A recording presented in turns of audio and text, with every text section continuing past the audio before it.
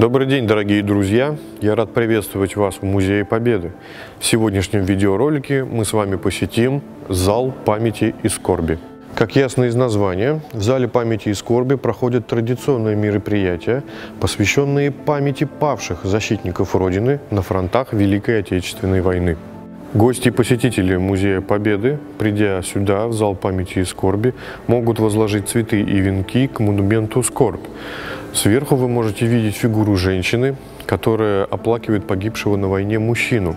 Женщина символизирует собой маму, сестру или супругу, которая оплакивает погибшего на войне брата, отца или сына.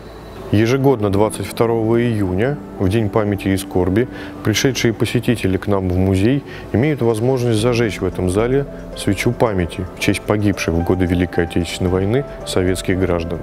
Потолок зала памяти и скорби украшают 2 миллиона 660 тысяч латунных цепочек. Каждая цепочка – это 10 погибших граждан Советского Союза в Великой Отечественной войне. По обе стороны от монумента Скорбь располагаются такие вот витрины. В них находятся книги памяти из всех советских республик. Сюда занесены сведения о всех пропавших без вести или погибших солдатах и офицеров в годы Великой Отечественной войны. Ну а мой рассказ о Зале памяти и скорби подходит к концу. Увидимся с вами в Музее Победы.